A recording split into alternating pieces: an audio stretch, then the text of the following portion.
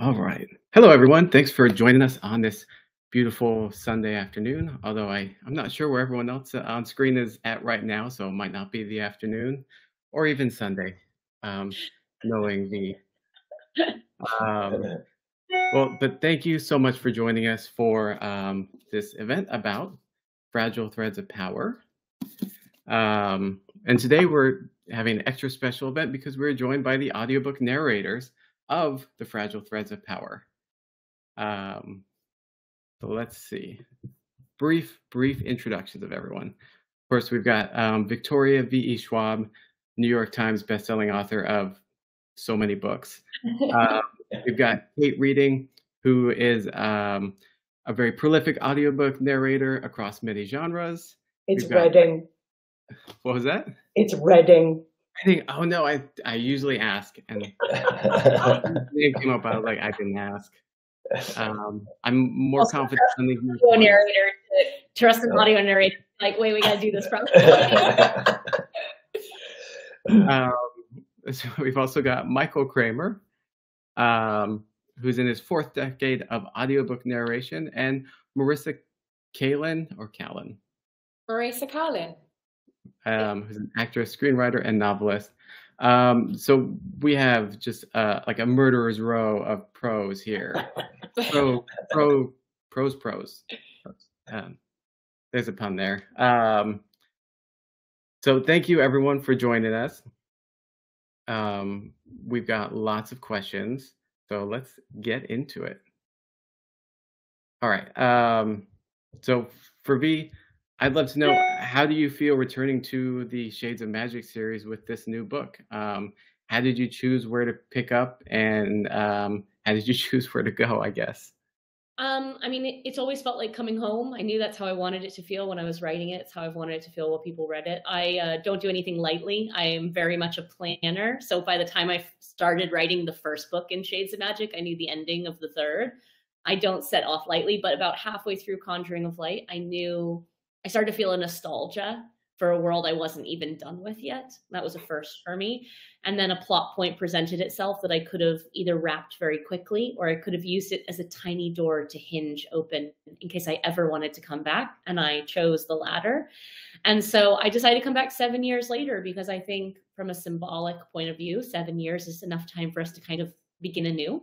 We regenerate ourselves, right? It's enough time, though, for children to become teens and teens to become young adults and young adults to become adults and worlds to change in noticeable ways. And so, hence the seven years. I also guessed it would take me seven years to come back. It took me six from a publication standpoint, but seven from a writing standpoint. And I wanted my characters to be able to grow along with me. So I didn't feel like I was returning to a past version of myself. I didn't want it to feel like I was writing fan fiction of something that I wrote in my 20s now that I'm in my 30s. And so, yeah, I gave myself the breadth and the time to come back, but it meant we had a lot of ground to cover when I did. and we get some new characters like Tess, which um, is one of my favorites in all of your uh, your series. So that's super exciting. We'll probably talk more about it. But um, for all the narrators, I would love to know how you got into audiobook narration and what drew you to um, this series. I don't know how we're going to do this. Let's just start with um, uh, Marisa. Uh, I trained as an actor, um, and I always knew that I also wanted to be a part of creating material because otherwise you're just waiting for some something to come along. So the first thing I did out of drama school was to write a novel, um, and that was published by Bloomsbury. And then I had some friends in uh, the publishing world, and they knew I was an actor, and they asked me to do an audio book, no, um, a a trailer, a book trailer. Um, and in the process of that, they asked me if I did long form, and I didn't, but I said I did, and then I did the audiobook of that. Um, and that was 12 years ago at least, and it was Macmillan. And because it married my love of acting and literature, and, uh, and it was just the perfect corner of the sandpit to end up in, and I've been doing it ever since. Michael? Uh, did a little bit of training as an actor, uh, but I'm also a theater artist, kind of wide-ranging director, stage manager, a little bit of sound design. Uh, a friend of mine was doing audiobook narration back in the days of reel to reel and cassettes and needed an engineer. And so for four years, I was his engineer and then three other narrators. And then the head of the studio saw me in a play and said, You need to be on the other side of the microphone. Um, pushed me to audition and uh, got hired by two companies and kind of never turned back. So, yeah, enjoyed it. If you told me when I was 12 years old that I was going to make my living reading books, I would have been over the moon. Because uh, I, I just, we go on a vacation and it's, I've got a book in my hands. So reading is just such a part of my life. I mean, when you put it that way, that you get paid to read books, that is a pretty good deal. Mm-hmm. Yeah. Uh, what about you, Kate? Um, so also started out in theatre and pretty early on after I moved to Washington, D.C., I was doing theatre and waiting tables and uh, joined the Woolly Mammoth Theatre Company. And one of my colleagues, who's also a friend of Michael's, Grover Gardner, who was in the company, said, You should come work at the Library of Congress. So they have a wonderful program for people who are print disabled or blind called the Talking Books program. And um, they have a studio for uh, recording audiobooks in Northwest DC. So I applied for a job and I got hired as an engineer, worked as an engineer for a year, and then was accepted as a narrator, started narrating there, and then sent some demos out and got picked up by a couple different companies um, and started working commercially. And that was in that was in the sort of mid late 80s the Pleistocene era of audiobooks. The tech has It's changed. a little easier to get the audiobooks now. Yeah. very- Yeah, Hugely so. Yeah. And the Library of Congress program now has an app. So Oh, you that's used to have to order from a catalog and you would get these chunky boxes of cassettes that you would put in your special player. And now you have an app on your phone and the books are downloaded to your phone. So, how do you all decide which project to take on? Um, and related, why did you guys decide to um, work on this book? Well, anytime you have a chance to work with a writer like V.E. Schwab, you don't say no. Um, yeah. I was I was going to say that it the the writing the writing makes everything just easy. It was this was one of the easiest books I've ever recorded. It was it was probably the easiest, and it's not the subject matter is a small piece of it. I love historical fiction. I do a lot of that, but um, I think when you pick up a book and you trust the writer right away, you know you're just in for. All you have to do is inhabit it. You don't have to sort of unpack it as you go along. You just have to live it. And good writing is just a gift in that way. There's nothing more for you to do than just experience it. And Yeah. yeah, and you know that as soon as you pick up a text. Oh, thank you. I also just want to say from my perspective, so early on in my career, I didn't get to have any say in narrators, even in seeing a short list or, or everything. But we were talking in the green room before this started about the impact that audiobook can have in our lives as readers too.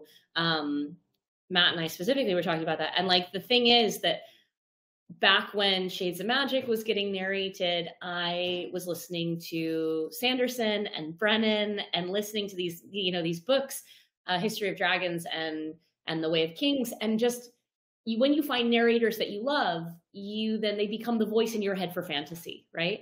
And so um, Kate and and and Michael became this voice in my head. And I and then I had this luxury when they came up on the list of people we could ask to see if they would do Shades of Magic. And I was like, oh my goodness, but they're the voice in my head for for fantasy right now. And so that was such an incredible gift because it was like getting to continue a trusted voice in my head and also to feel like to see as an audiobook listener to have narrators that you love then working with your own material feels incredible and then when it came time to cast Tess and to have a new voice enter this world um, and this recording series, I was very, very lucky that I got to have a say in it. And as soon as I heard Marisa, I was like, I want her. Like I just and it's so weird because obviously there's technical acumen, there's technical but as an as an author, there's simply the fact that we hear our characters in certain ways. And and then I will listen to three or four narrators and they're all stellar, but I will hear the one that is the voice in my head. And so I think it was just it's such an incredible luxury when the voice in your head matches up with what you are able to actually like the people that want to work on it and so it's just been such a gift to have to have the three of you bringing these stories to life in such specific and nuanced and wonderful ways uh, marisa mentioned you know being lucky to work with this quality of writing and i'm curious v from your perspective if um, you know, obviously there's a gap between when you write it and when you when it gets recorded and then when you hear it. Do you ever hear um, you know, things that you wrote where you get like the chills and then and like it surprises you? Or and on the opposite end, are there ever things that you write where you're like, I'm so embarrassed or like nervous that someone has to read that?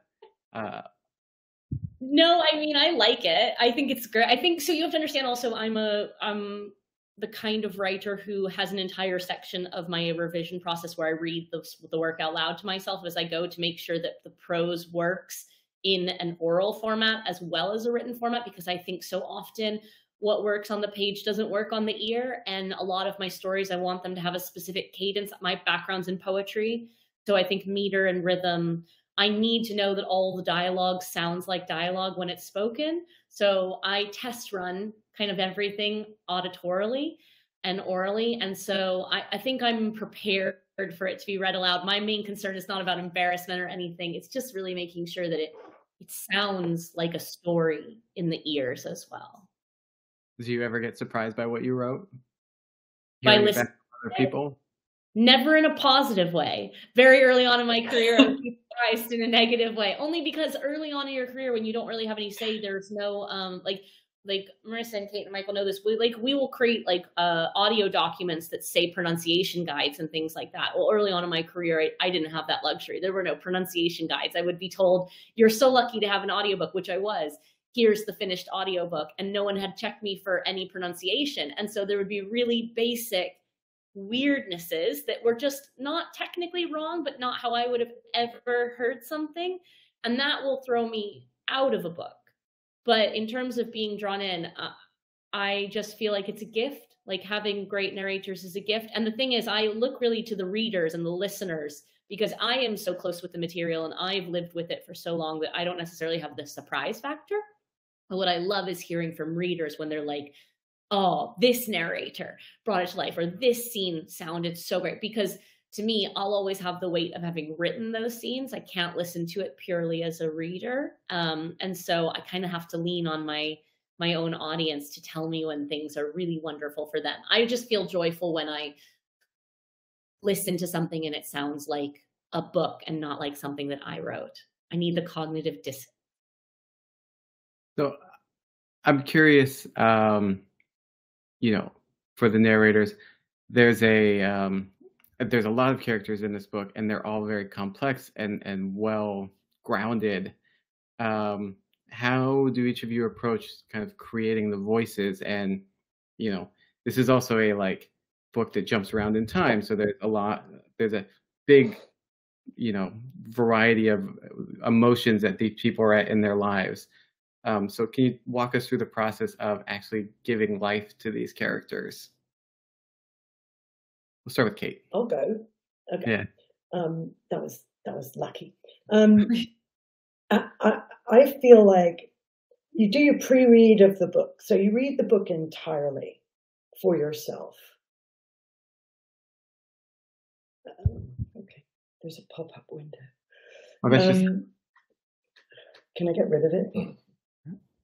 Um, I'll get rid of it. Don't worry. Thanks. Sorry, distracting, visually distracting. So you, you, you do the pre-read of the book and you absorb the story like you know, without thinking, oh, I'm going to be voicing these characters. You're just taking the story in and you're learning who these people are and what they want and how, what the arc of the book is. And you have your pronunciation sheets, whatever the sort of tech support stuff is that you've been provided with. You do all that prep. And then you get in the booth and you open your mouth and you start reading, and you're just inhabiting in real time, sort of forgetting that you you both know and you don't know. It's a little schizophrenic.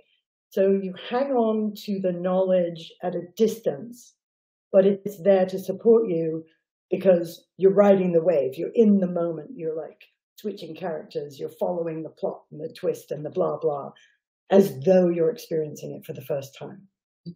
And that way, it's sort of it's fresh and it's alive, and you allow yourself to be surprised in the same way the reader is surprised. Um, and not to like overly lard you with praise, VE, but when the writing is good, when you trust the writing, you really do just open your mouth and the right sound comes out because it's all there in the writing. What about you, Marisa? Do you have the same process? Or... Yeah, yeah. I was gonna say this the same. Um, I make I, I read it through and I usually wait for the moment to come and then I'm making sure I'm placing people in different places so I have some distinction. But I don't overthink that. I'll sometimes write a little note. Um, if it's in the text, I'll make a note of it. So I'll do a lot of, I tend to throw in a lot of regionalisms just so that they're distinguished, but I don't want to do that too much if it's not specified. But I always have to listen to I, I, make terrible notes for this very same reason. Kate, I think I rarely hear people say that. I hear a lot of people say they make their distinct choices ahead of time, but sometimes it just doesn't feel right in the moment. So I will always have to go back and listen to all my characters because I'll get to a sequel and I'll be like, ah, oh, I don't have anything to tell me what I did. For the smaller stuff, for the peripheral things, I always yeah. the the main characters have I've tended to sort of really take on board, so they they live. I I know who they are, so I wouldn't forget them. But otherwise, I go with the flow.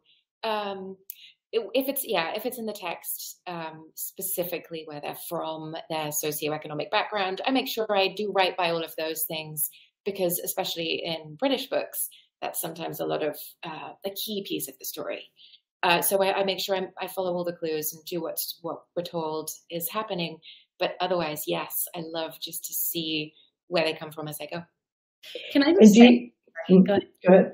I was just going to say, I love that all three of you, though, seem to be of the same school in that, because I think that to me, as a listener, that that's what keeps it exciting. What keeps it exciting is the sense that you have a momentum. And I think sometimes what can happen, some just sometimes, is if narrator is overly familiar with what they're doing and it sounds like work, it takes mm-hmm. up a kind of monotony because it's something that is not as refreshing or as fresh and as surprising to them as it will be to the reader and i think that that is one of the like especially in fantasy especially with, with longer books i think that can be a really great disservice in the long run because it becomes rote mm-hmm. and so i one of the things that i love about listening to all three of you is that it does feel like we have a momentum behind the words like we're tripping along and we're gaining momentum along with you so sorry right. i just wanted to say I think it's great no, if I can just agree with the reason why I think that is, is because if you've made a choice about a character voice as being in a certain place or uh, a character trait like a dirgy voice, you lose, you don't play the scene. So if you get too caught up in the idea of what the character should sound like, then that's what you're doing rather than allowing two people to react to each other. And I think that's that can be that can hold you back from actually just having two. So if two people are talking, they need to sound a little different but you don't want to think too much about the traits and more really just about what's happening and what's being said and it can yeah if you play it by ear that that helps i think. And so much of the time it's so much more about their intention. Right. Right? Yes and i wanted to ask you marisa and i i think i know what the answer is. Do you find that the reason you hang on to the voices of the bigger characters is because they're in your body absolutely there's a I was, yes, physically, uh, yes, because I've interpreted them differently than just making choices about them. Yeah. And again, I'm going to do the same thing, but good writing, mm-hmm. it's in there. They're distinct. And if their voice is distinct, the character is distinct without you having to load something super specific on top of that. Yeah. Already they're expressing themselves differently. So yes, they they I, I go back right into where I who they are because if they are written in a in if they're fleshed out then you've done you've done all the work already. And there's Yeah. one little like nerdy technical detail that people not, might not be aware of. When you have these characters like they are in this book, who are like, they are like forward charging. You have to wear very quiet clothing because you start moving around and you're wearing, you know, poplin or something, you're just going to pick up all this noise. I'm, can I ask a question? Because I'm just deeply curious. Like when writing, often there's like little hacks or little ways to like give yourself, get yourself in the zone, right? A lot of writers will have like music that they listen to, or a lot of writers will have like specific environments or beverages or anything like that um, to get into a scene. Like I use a specific like song usually per character to get into the zone. But obviously, as you're narrating, you don't have that luxury. Do you have like totem i know you have booths but like inside the booth is there like a totem or anything that helps you move between characters perspectives oh michael Well, no, sometimes sometimes I will if I know like I'm going to be coming into a certain scene, there's what's what's the underscoring, the music underscore of it. And I'll listen to that ahead of time and then okay, you know, I've just put on Holst the Planets and we have the war. Oh, oh Oh no, no! Oh no! moment like we're like what happened what? oh my goodness okay what while we're waiting for that marisa do you Can I? Yes, I'll fill the space, but and we'll come right back to him. Um, yes, I don't have my own booth. I work in studios in New York City, um, but I I'll often have come up with music that is so. It's my preparation time is going to the to the studio. So I did a book. Um, I always think of this because it was such a specific choice for me. Um, and it's hard. It, you get off the subway and you have to hold on to the vibe you've just struck, even though you still have to get there. I would go to the very front of the subway car, and I would go into the first carriage where there's the driver is to the side, so the window looks at the track, and I would play Pirates of the Caribbean in my headphones, and I would stand at the front of the subway, like at the subway car, like I was yeah I was on my ship, and I would then try and like take that dun dun dun dun dun, dun right into the, and then it would, and then you kind of got to get situated, but it would, it would, it would give me the pace that I needed. This book was full of adventure and fights, and I was, and I wanted that pace, and I wanted that sense of forward propulsion. So I would. I'll pick random things like that for each and every book that Yeah. um, that helps me. But then between characters within the booth, um, it depends. A- A lot of I do a lot of dialect work, so sometimes it's um, it's something that they say within the book that helps me shift to them. I'll take a line of their dialogue that makes me uh, that that encapsulates them for me, and I will. We never stop, so it's just that nanosecond that I get to go into their way of of um, expressing themselves, and it'll it'll tend to be a line of their dialogue. amazing Michael, michael back back to to you back. Yeah, Holst got really angry there for a second. uh, Mars came down and smite. No, um, yeah, to get in to get into a kind of an emotional underscoring, but for the most part, it, the writing drives the scene. Mm. Um, so it's just it's just follow the writing, um, you know, and it's it's it's open to everything. It's not just the dialogue. Sometimes it's a, it's a description. How what's what's you know what choice is it? Scarlet? Is it blood? Is it you know what the choice of red? That tells me so much. It's a bit like sipping wine, where you're trying to find every little nuance, the cinnamon, the blackberry, the oak, whatever, that's been embedded in this uh, in the piece you're working on. I think about so yeah. much because I, I'm the kind of writer, I consider myself a cinematic writer, meaning that I actually see the story as a film in my head. And then my job is to transcribe it onto paper so that the exact same film plays in the reader's head. Yeah. And like down to the score and the color palette and the atmosphere and all and where the camera's moving through. And so how fast yeah, the camera moves, you know, how quickly do you cut? Do you, you, you need to frame the noun right away so that it's like that's a jump cut to close up? Or are we rolling in very slowly across the mountains, down into the road, into the whatever? All of those things, uh, and that's in again. It's it's the text is driving. It's telling you that, uh, Yeah. and even uh, it's it's a that, that musical score of okay, I need to like jump cut here, and now I need to like relax into a scene, or I need to go back and forth.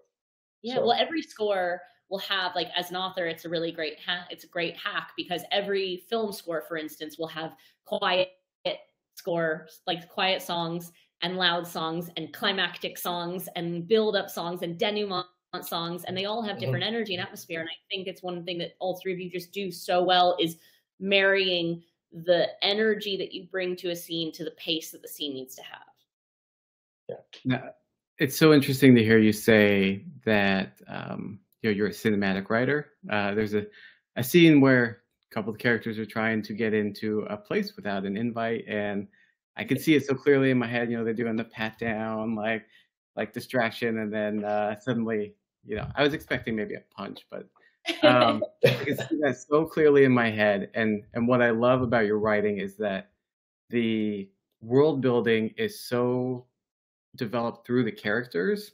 So I would love to know um, from your perspective as the writer how you think about world building through characters, and then um, for the narrators how that affects you as the narrator, where you're you're responsible through the characters and their voices so much for delivering the world building through inflection and uh, like Michael, you're very good at having the um, the not a venom, but like a a drawl to the characters that really like brings so much to um, Kell and Alucard in their own ways.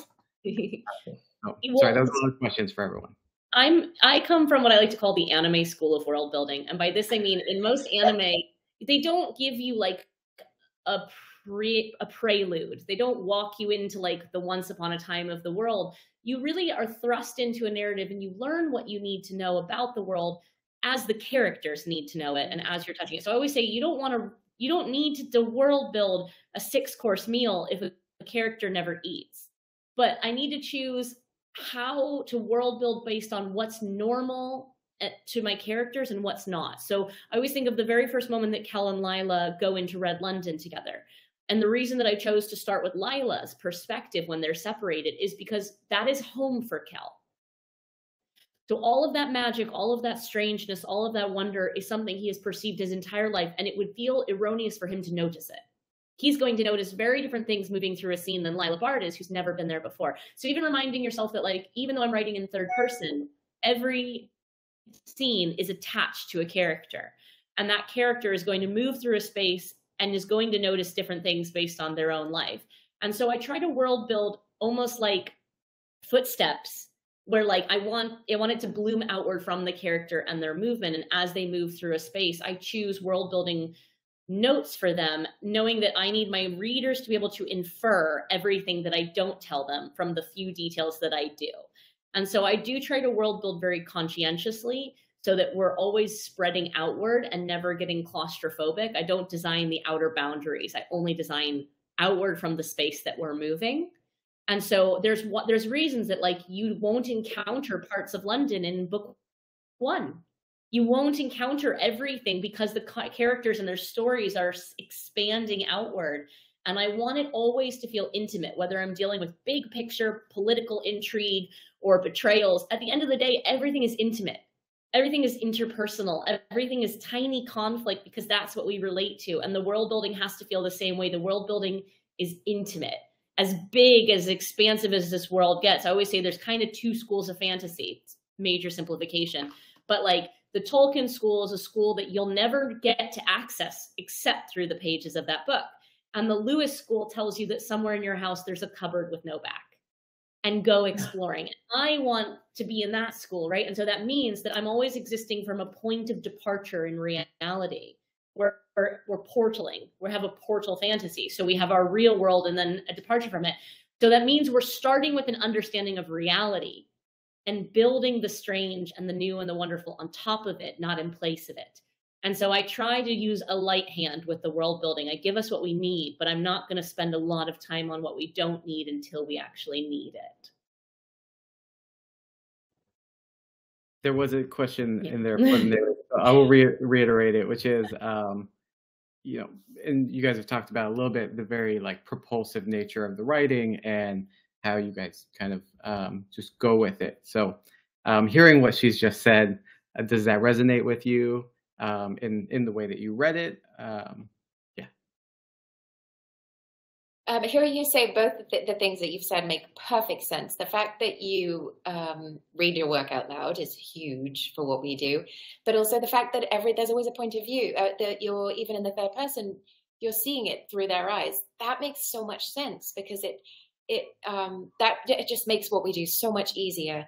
Because I think that the narrative can have as much uh, color and richness in how we deliver it as dialogue and as as character would have. So you know you can hear thinking you can hear discovery you can hear all of these things that you put in so what i i consider my part of the job of world building you've already done all of it my part is to take the listener on the moment by moment parts of those worlds like you were describing being patted down you can hear that Though, like in the way that you in the way that you describe that action i mm. think all the action is in that you can hear it in your voice i think that action sounds different. So I would consider um, part of our job of the interpretation of all of that world building is to is just to make it audible as we will as we walk through that world and discover it. Um, you make um, it urgent. Yes. So where there's urgency, or where there's like I love um, stream of consciousness uh, moments where, and again, good writers, you can as you can predict the number of clauses of thought. Because sometimes you're like you'll you'll be thinking through this as you see it as you observe it as the character is. And with good writers you, you are on that same rhythm with them. With less uh, intentional writing you've delivered your two three clauses and you've moved on to another thought and then there's a fourth clause and then you have to go oh and that you know so the, so the good world building is is just the pace of thinking, feeling, and moving through the world. That's that would be my interpretation. You guys? I think there's also an interesting aspect of your kind of writing where you say your focus is on the intimacy, and what that means is no matter how grand a character is, whether they're a king or a god or or a demon, they are a creature we know intimately. Mm-hmm. And and so the intention of that character remains alive.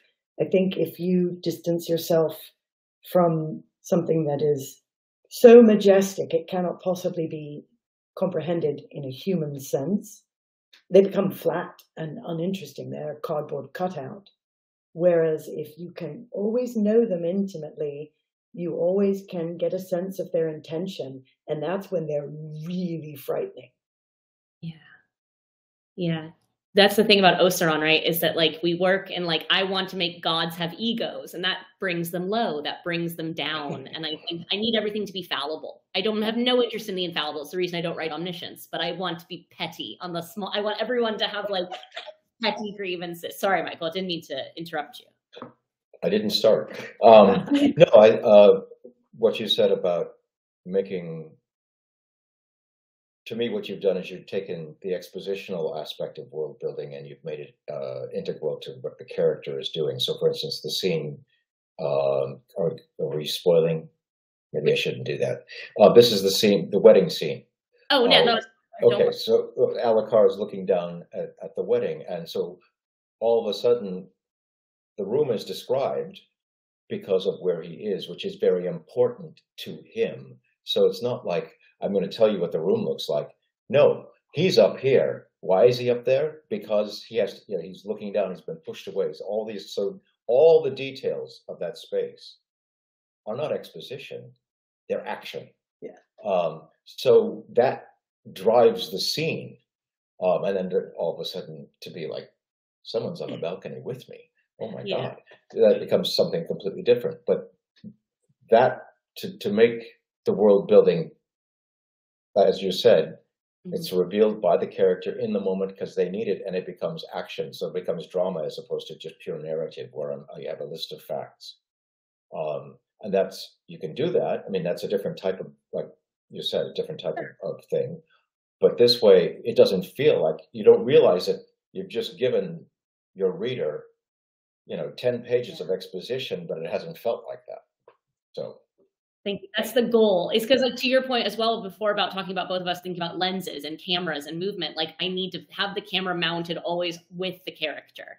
Mm-hmm. I don't want it to drift away from them. And so I think attention is a thing that I use for exposition, where the character's attention is, because attention is fun because when you point attention in a direction, it's to the exclusion of something else. So Alucard is standing on that balcony and he's staring down at Rhy and Rhy's bride, and he's taking in the the festivities and it's very important because we're learning about the other royal houses and this is all very important to the story so it was exposition we had to get but by framing it as attention it's that he doesn't notice the queen coming up next to him and Yeah. like that's important because I think that there's some of the best conflict happens not like when things are happening a room away, but when things are happening and you just have to catch up to them in that moment. It gives like a very nice whiplash to the character. Mhm. So, um, V, one of the um, things that is most intriguing about this book is the threads that you pull together, right? You have more characters that we're following. Uh, we're jumping around in time. Is it like a 17 year span between everything or? Seven years between end of Conjuring and start of Threads, but we're also doing some back work as well, yes, because of Alucard. So what was that process like and how do you decide, you know, which way to build the tapestry? I'm a, I'm a ridiculous planner, so I actually build every single scene before I write it, like before I write any of them. So before I sit down to write Threads of Power, I have about 150 scenes that are outlined. I know what the characters' perspectives are, and even though the story happens in a narrative order, I write everything in a chronological order. So I go character by character. So Kosika is a great example. The new queen of White London um, starts out when she's seven, takes us all the way to 14. And even though 14 is our current starting point, we're going to go back and we're going to cover the ground in between over the course of the book. But I write her from seven to 14. So, and then I put her, I write her every scene that happens in her voice. And then I put her voice down because I need tiny little minutia details to change in the lexical element in terms of how my characters think, in terms of how long the clauses of their thoughts tend to be. Some tend to have a much more staccato rhythm, some to have a much more stream of consciousness rhythm. And so I want to hold on to the voice, even though I'm writing in third person. And so I will write each and every perspective chronologically and then braid it together into the narrative order which is daunting. The most daunting aspect of this book, though, was adding new cast to old because not from a technical standpoint, but because I knew that everyone was going to love the old cast more. Because if you've read, for, for those who've read Shades of Magic, because there are a contingent of people who are coming in at Threads of Power, but for anyone who's read Shades of Magic, you have a bias.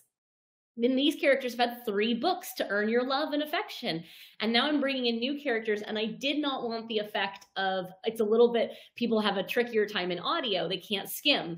But like in books, you know, there's always a large cast novel where there's, you're reading it and you're like, oh, I don't care about this character as much. I hope their chapter's short.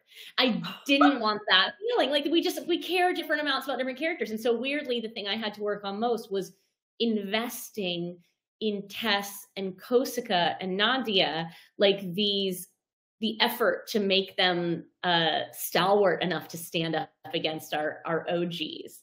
So that was the most daunting aspect. The rest of it's just technical acumen. I just am, I'm a little obsessive when it comes to structure. I love playing with it. I have some hard and fast rules about not changing both perspective and timeline. So I can either change timeline within a character or perspective between characters, but I won't jump from past Kell to present Kosika or from, you know, I, I need to have some kind of continuity. Otherwise, yeah, it's just me getting in my own head. It's hard. I'm not gonna lie. It took a year and a half for the writing itself just to get the it all to work together. Well, it paid off. Um, and your point, I'm also like I definitely skipped Sam for those sections in the the last book of that trilogy. That so I with audiobooks, you're right, you can't do that. Um, it up, but you can't skip. um, but as uh, as the narrators, did you read it straight through, or did you just skip your chapters and just, or did you know what was happening in between in the narrative, um, in the way that V built it? Sorry, um, I'm not sure the As a- question. when you when you do your narration, do you just read your chapters? And I, I can answer. I can answer that. Yeah. Um, I had. Um, I read straight through. because again, that's that's Fee's intention. So I would like to have the story happen in that way. And we're moving around in time, so it's like, what you know, why are we being told things in the order that we're being told them feels important. And then I don't think about the other chapters. Then I think about the experience of the character, who's my primary point of view. And even though this is third person, it's so well. It, it doesn't feel that way. It feels it feels pretty personal. Um, but I also had the uh, existing trilogy to um, go back to. So I listened to the whole existing trilogy, but then I started conflating what happened in my in, in the current book with the old ones because I was I was listening to them and reading. So then I um, so then I reread then just Tess's uh, point of view chapters, and then had a good sense of at least what was happening to her, and would skim read through what was happening to everybody else at the same time. But I think it's uh, I think it's again, it's it speaks to what Kate was saying earlier. You learn it all, and then you forget it all, and then you just play scene by scene, moment by moment, and you just explore it as as it comes. I think this is one of the challenges of of multi narrator audiobooks mm-hmm. is that um, you have to read the whole book because you have to know everything that happens. You're responsible only for your sections but your colleagues are also voicing those characters. Everybody has to be on the same page in terms of what that character sounds like, even though the voice is going to sound different because we all have different instruments. Mm-hmm. And then, you know, the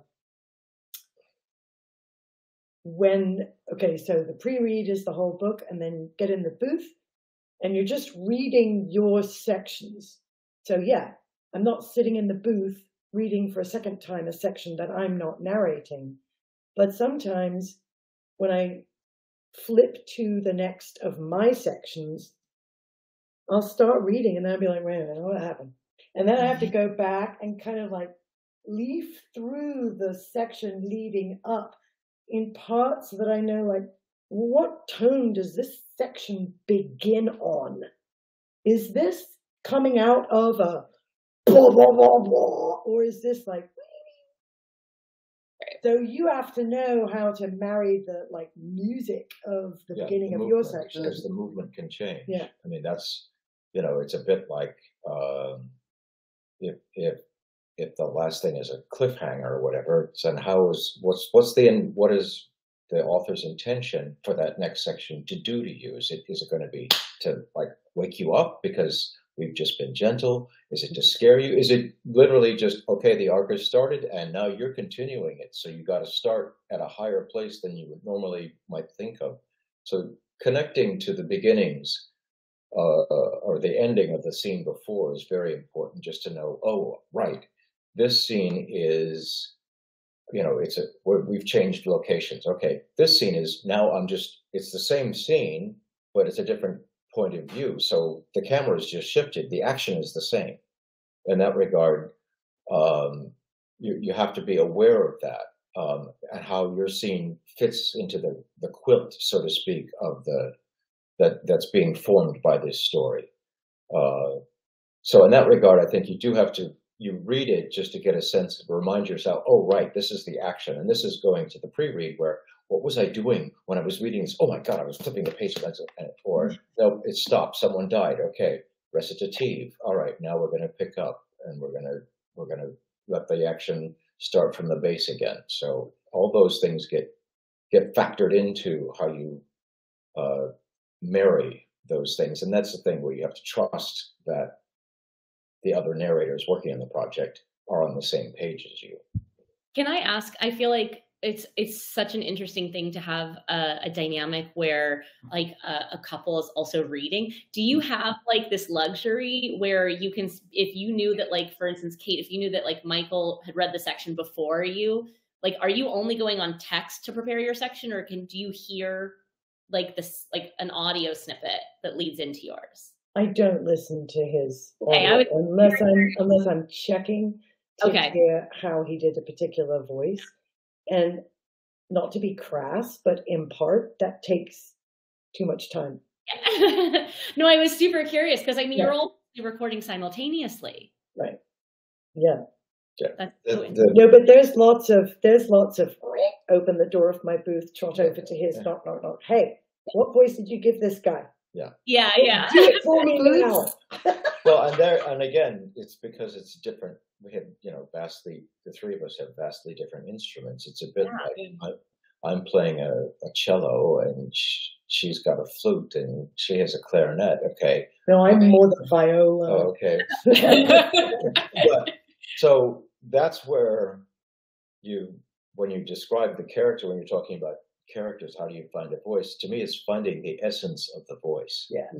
Um, what's the what's the one quality, and oftentimes that's an action or it's an attitude that that Mhm. person happens to predominantly live with.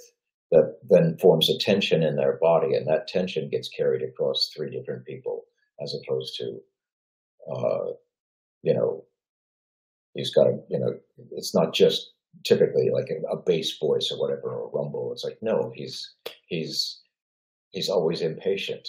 That would that would be take me miles down the road in terms of the character because then all of a sudden there's a whole physicalization that happens, um, and that's what makes that's what makes coming back to the voice a lot easier because you've been physicalizing this voice for however many hours you've done. Um, and even if it's been three or four years, all of a sudden you open your mouth and it's like, what? Oh, no, that's not how that person held themselves. And bang, you got it. Okay. Yeah, the mind forgets, the body remembers. Absolutely.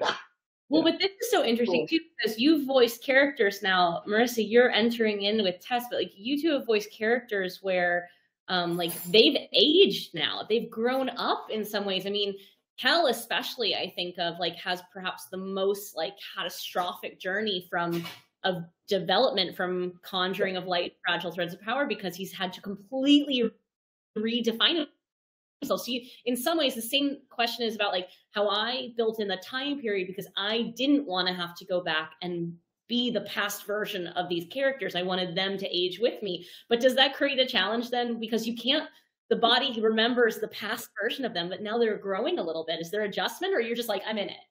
We got older too. It works for us all.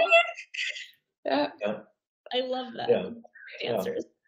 But there is still some of those essential you know you can see somebody at 12 you can see them at 17 you see them at 27 you see them at 57 and you go you know what Same.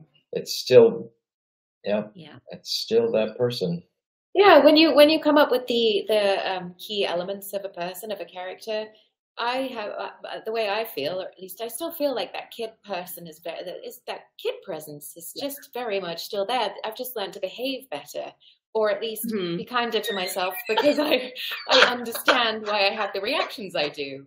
or The worse instinct, well, right? But the instinct is the same. The character's the same. So I love what you said. Like you've aged, but you're still playing the same character. You know. Uh, and also, one of our, one of the things we get all the time is to play characters through one novel who age. You know, I, I had an Austrian queen in a historical fiction that she was. I started her at fifteen, and she was sixty-two when Mhm. she died, and it was the whole journey and the whole book. And there is there are things that you you very much change about your voice, but the characterization doesn't change because the listener has to understand it's the same person. Mhm. So the listener is relying on you to to to give an over like a through line of character. Even though my voice is, I'm trying to age my voice and my and all of the other things. The driving factors are the same. Yeah. So I think even though we change on the surface, we're just we're reacting to all the same stimuli in hopefully a better way. Yeah. It is so interesting to hear the process behind the art because I think people understand maybe a little bit more what it's like to act, but to act without your body or without people seeing your body. Right. Like clearly, you guys put a lot of your body into the voices, but we don't get to see that. Um, so I'm curious, since some of you have, you know, um, traditional acting backgrounds, like, do you change your approach? Is it the same thing? Just nobody sees, you know, all the grand gestures you're doing, or or what is that difference like? I think it's essentially the same because you're inhabiting a character. It's just how you express it is different because instead of having a 30 foot by 10 foot stage or 20 foot stage, you're in a four by five booth and you're sitting. So there's a lot you can't do. Um, but essentially it's essentially you are you're you're inhabiting that character. The author is another character. Mhm. So that Mhm. third person voice, that's a character. You play, you inhabit the author. And that there, there's a type of theatre um, um, that involves narrating a book in which you would read the prose in addition to the dialogue, which is very challenging to do on stage because it is it feels very unnatural. Mhm. That's what we do in the booth, but it's natural because it's germane to being in the booth, making an audio book. Yeah. I um oh sorry. No, No, go, no, ahead, go ahead. Go ahead. Oh, I was just gonna say. Firstly, I've heard you're wonderful on stage, Kate. I Mhm. um, haven't seen her, but I, I've heard great things. I do stand to uh, narrate, so I move a lot, and as you said, it's quiet clothing. But I think that you hear so much of the physicality. So if the character's pointing, I'm definitely pointing. If um, I think it, it that's where I get a lot of the pacing from. So um, I remember it, I, there was a scene where a snake was crawling through the character's hands, and the director afterwards told me that I had handled the snake for the entire scene, but I wasn't really aware of it. But I think that there's a different pace if you're if you're looking at something and engaging with something. So I would uh, Kate's done a lot more stage than I have. I would just arguably say that you bring as much of it in as you can with the awareness that you've only got this distance that your dynamics have to be slightly compressed, but I still love to shout. I you just I I can't stand when people are like, "Blah, blah, blah, blah." she shouted. So, and because I it can it, there's way more there's way more scope I think than you than you might initially think. Yeah. So as long as you work with the instrument, which is the mic, and you you know there's a lot you can do in And- in the physicality. Yeah. Yeah, no, the it, and the other thing I firmly firmly believe um, is if it's not if, if the images and that could be the physicality of the character, it's not living in your mind, you're not communicating it. You can't Mhm. communicate it. So if you're describing mountains, you know, whatever, the character who's seeing it has to see those. And when you if you're not seeing them as the narrator, the audience They're is not not they're not there. is Yeah. not going to hear is not going to see the scene the same way because like you say you're handling a snake so it's it's causing you to do something Mhm. when you're talking about looking and your eyes are going out there your mind changes so your voice changes because the expanse is there it's not here it's there and so your voice automatically makes it there's a physical adjustment that happens uh, and you're not even aware of it. Uh, but that won't happen. That's when you get to that rote stage where it's like if you made the decision that no, you have to see the scene for the first time. You have to see that, you know, that door over there where the guy's sitting in the, you know, in the entryway, and what is he doing? And that's always affecting how you're going to relate the scene, whether it's narrative or prose or, or dialogue. So But I was, it comes all the way back to how I write it too, because like I, my only philosophy is I can't write what I can't see. It's not write what you know, it's like write what you see in this case, where I have to be able to close my eyes and see exactly what I'm writing. And if I can't visualize it, whether it's realistic or fantastical, I can't write it. And so I have to conjure that imagery. And oftentimes, weirdly, as an author, I'm doing the same thing where I'm like holding space in the same way, or I'm acting something out to make sure I understand how the lifting of this cup would feel and how the eye line of this space. So like I, I feel like I do a pair, like a, a pantomime of the writing before I write, and then hopefully, then then it's so funny that at every stage we're having to pantomime for the audience so that they can get there too with us. How many That- knives do you and Kate keep around you when you're doing Delilah's sections? Like, I mean, 50, minimum 50. There's not a single knife left in the kitchen. They're all with me in the booth. I've got a couple like uh, questions from the audience or little rapid fire. So um, this one's for V. If you could do a mega crossover of any of your books, which characters in which worlds would you love um, to have interact?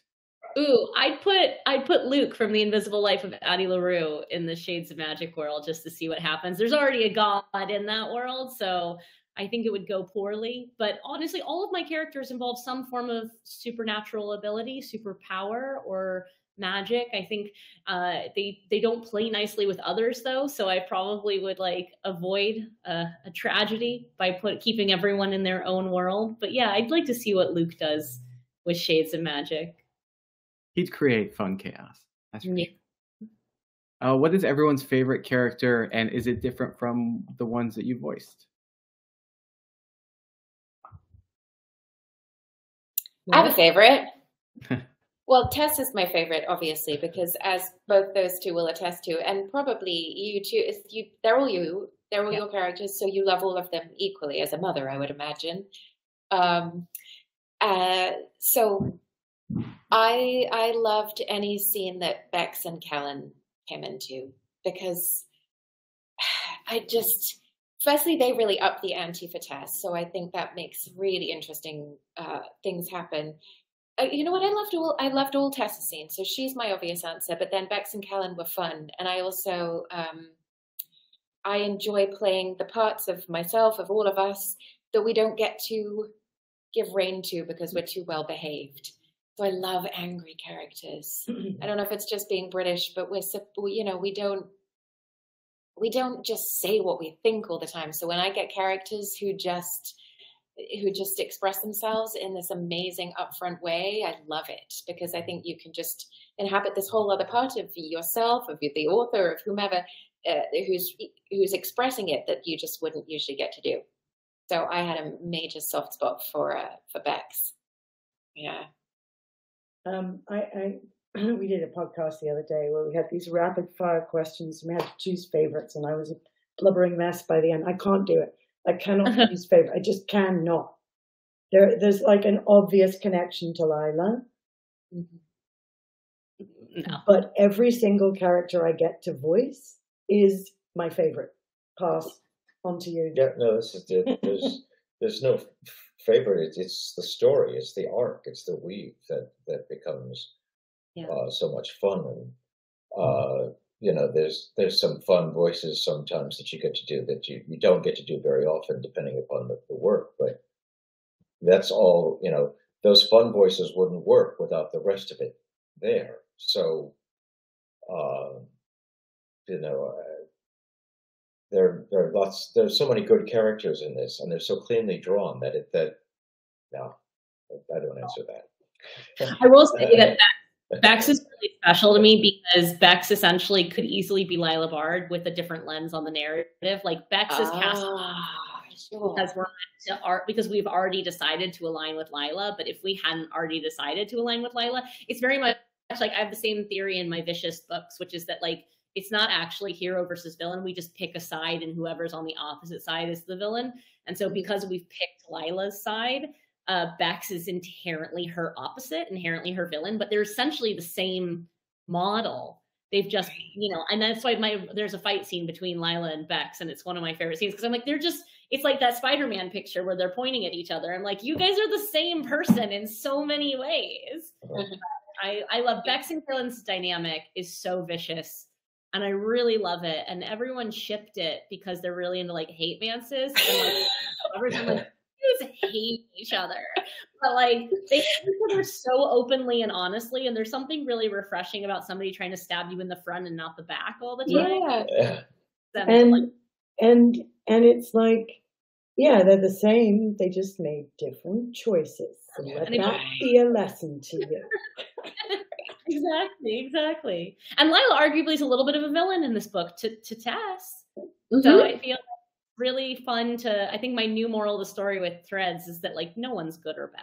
right They're just all on their own path. Um, all right, v, if you were going to narrate a book, what what book would you like to narrate? oh my god. I am I I love telling stories out loud and I could never narrate anything because I have one voice. It is only my voice. It's the love doing. There's no other voice there. So, you know, I'd love to narrate to children. I'd love to narrate children's books. Like, it used to be a thing for me whenever I was stressed with friends. We'd go into a bookstore and we'd sit down in the children's the picture book section and I would tell them picture book stories. I would I would say them out loud, uh, and so there's something about the simplicity, not the simplicity from a craft perspective. They're extraordinarily difficult, but there's something about the simplicity of them all feeling like bedtime stories. And I think that's the only voice I have as a bedtime story voice. I mean, there's a lot of children's books out there to narrate, and my kids fall asleep every night to um, like us reading them books, but also like YouTube videos of people reading um, kids' books with The like animations. Say the one that just won the Caldecott is called Hot Dog and is so delightful. And I got to see the artwork for it before there was text. And so I narrated it to my friend, uh, like when there was no text. So I made up all the text while with just the pictures. And so I essentially got to narrate something that didn't exist. And that was the most fun I've ever had. Like I love to narrate a picture book. Now it has text, and the text is wonderful too. Give me a picture book, and I'm just in my happy place. All right, last question um, before the final wrap up question. What audiobook speed do you listen at if you listen to audiobooks? And what audiobook speed is too fast that upsets the narrators? I'm not going first. Anything above one? I Oh no. Okay, I That, listen to yeah. 1.5. I beg your pardon? Oh, that's that's fast. What did you say? It goes up to like 3. What did you say? Oh, I said 1.5. Here's what I'll say. I it if I'm listening to nonfiction, it's at like 1.7. If I'm listening to fiction, I know Kate's face is distressing. It's we'll say 1.25 on the like 1.4 but it really depends on the narrator. Um and like nothing against against the extraordinary michael kramers of the world. I tend to speed up men's voices a little bit more than i speed up women's because i think that there is like it, not not for you obviously. I would never speed up my own audiobooks uh, like i i would say that 1.25 to 1.5 is usually the zone i'm in unless i'm trying to blitz through a nonfiction or i'm doing research or something and then it's usually around 1.7 That feels different. That I is. find this question so fascinating because um, obviously from from the perspective of a narrator, we're the typesetters, right? Yes. We decide how long a pause is until the post production comes in and goes, chop that. Um, but we determine the shape of the sound. So for someone to speed it up is taking away my agency for my craft. yeah My other question is this is a multiple question thing. When you watch a film, do you submit to the choices that were made by the film director? Or do you increase the speed of the film? I'm not going to let you answer just yet. And the other thing is the difference between watching a film and lis- listening to an audiobook neural pathway brain wise is extremely different. And for a lot of people, they cannot listen at regular speed. They cannot take in what's being said if it's being played at regular speed. But there are things you can do. You can knit, you can occupy your hands. A lot of the time, if you are actually using your body to do something, then you can absorb the audio at regular speed. So those are my feelings and thoughts and questions about this slightly touchy subject. No it's very volatile because i say as like an author i'll find people will read the ending first or they'll read pieces of my yeah they do. Level of anger or like people will skim or people will skip something so i understand that there's an intentionality that like and, I- and I and I I lashed out on a on a on a book event because somebody in the audience admitted to reading the ending first, and I said every order that I set every chapter is with intention. So to your point, Kate, I have chosen exactly the way in which I want you to read the book. So reading the ending first is ruinous because I did not put that ending first. I put the ending last. And I will 100% admit that oftentimes when I'm speeding up a book, it, it's in some way because I don't feel aligned with the narrator. Mm-hmm. In some way, I feel like the narr- I, I don't usually do it if I'm in love with the, the narration. But if I feel like the narrator perhaps is more of a, a rote experience or more of a like monotonous tone, or I don't feel like they're creating a film for me, I don't feel like they're creating an experience, which is obviously what brilliant narrators do, then I'm reading for work or I'm doing something where it is work and not pleasure. Those are the times when I find myself speeding it up. But you're mm-hmm. absolutely right in that you've made intentional choices with the narration that then doing anything to disrupt it. I mean, when I saw that they added a speed up button on like Netflix for TV, I was like, why would you do that? You can put it up to twice as fast. You can put the speed up on the TV to twice as fast. Well, I, I, I will make one comment with regard to speed. I mean, uh, uh actually, two comments. One, uh, as you pointed out, sometimes people process things differently at different speeds. So just like uh, it takes me, you know, a minute to read the page, she's, you know, on page three just bang, bang, bang, bang, bang. It takes me a longer time to do that. I sing and tempo. You can sing the song at this tempo, and you can sing the song at that tempo, and you can sing the song at that tempo. And the song, to what degree does it change? Uh, partly depends on your mood, especially when it gets into the more sentimental world. Uh, so it can be sometimes you want that speed and it needs to be and hopefully the narrator has captured that speed. But also you might not be as a listener in that place the same place. So and or is there that much difference between you know something at 97 as opposed to 79 as opposed to 65 uh, so I, I you know the when the when the speeding up totally destroys the pacing. You're still going to get the pacing. You're just going to get it in a more uh, allegro fashion. um, um, so, in that regard, uh, the bigger thing is listen to enjoy. So, whatever you need right. to do to, to enjoy, do it. Do it. I'm one of those people who can't. Uh, like my mind wanders if there's the spacing between words being said. So speeding it up helps me stay focused on what's actually being Start said. knitting. I, you know, my knitting. Everyone stopped wanting all these hats that I was making, so I yeah, yeah. I expect one. yeah. Um, all right, so we I've enjoyed this conversation so much. It is so exciting to be able to hear not only from the author but from the narrators of a book that I absolutely love and a series that I love. So thanks for staying with me a little extra longer. I really wanted to ask the speed question, but I didn't want to sour the beginning of the show. so I would love to hear um, from V and from everyone else. What are you guys working on now? Ooh, I'm like way more curious about the narrators. Marisa? Uh, I have, uh, I'm a historical fiction girl, so I have um, quite a few. I have I dip. I rarely make it to modern times. I'm dipping into the Cold War next week. Uh, then I do have a mystery thriller, which is a departure for me, so that's fun.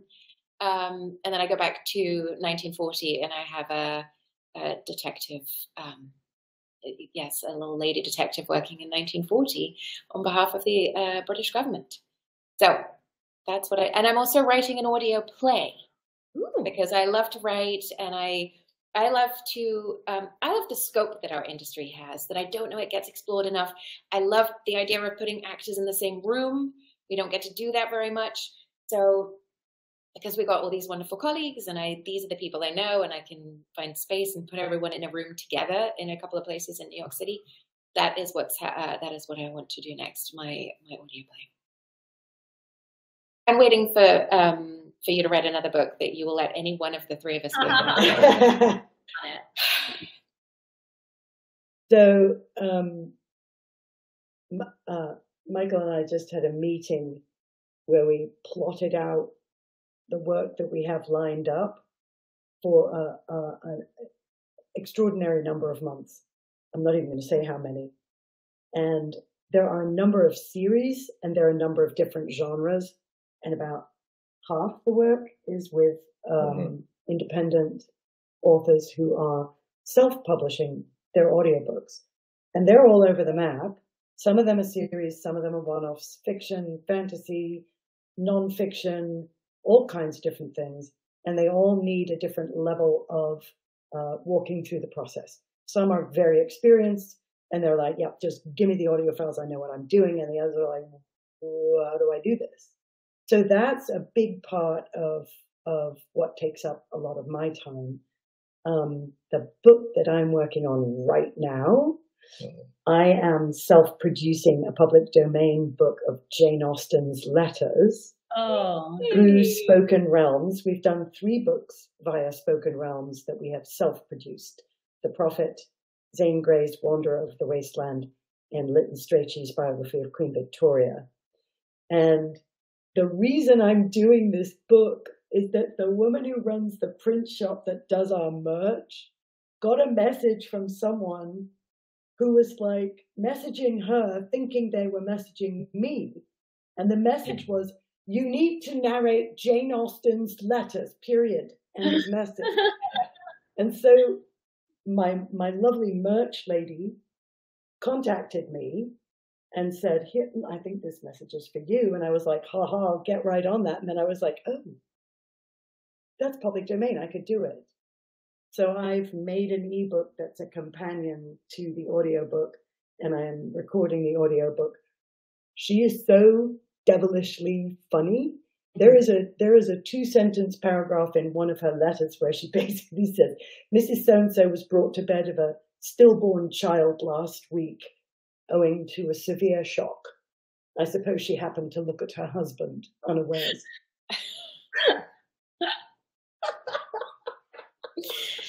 oh dear. Yeah.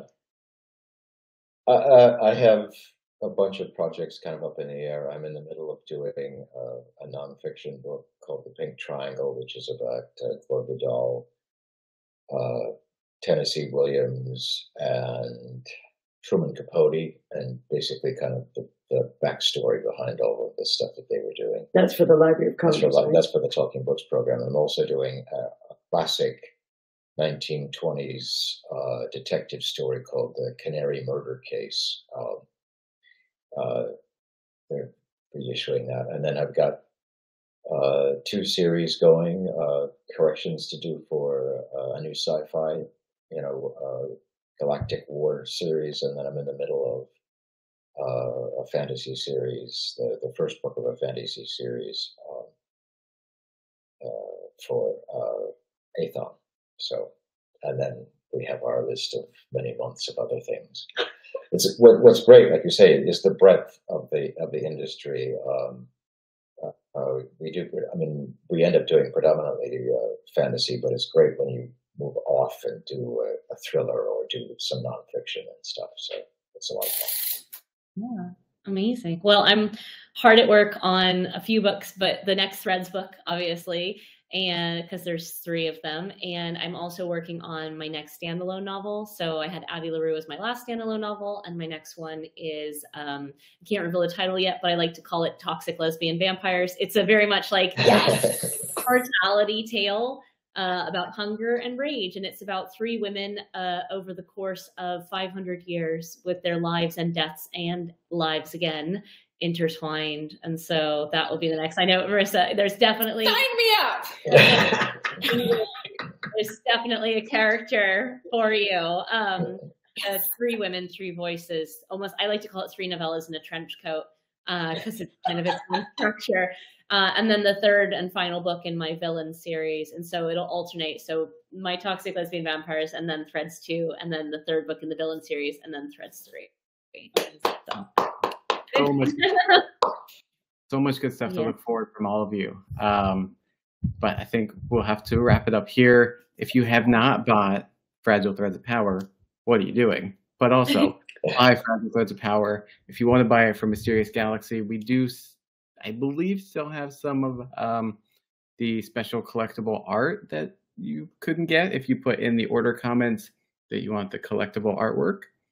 Don't quote me if I'm wrong. I apologize. I haven't heard whether we do actually still have some, but so limited chance, but do please buy it. And if you want to listen to the audiobook book version and you want to support independent bookstores, check out Libro.fm. Um, you get all your audiobooks there and and listen to them, and you can choose a independent bookstore to support in your area. Um, so it's a great app and a great way to listen to all these um, audiobooks that Marisa and Kate and Michael are narrating. Amazing. Thank you so much. And also thank you for this opportunity. It's I get to nerd out. Like this is not a thing authors get to do very often to nerd out over so it's very, very special. So thank you. Yeah, super Thank you so exciting. much. Um, thank you, everyone who was in the audience and watched. And uh, with that, we will say good night or good afternoon. Yeah. Have a good night. Bye. Bye. Bye.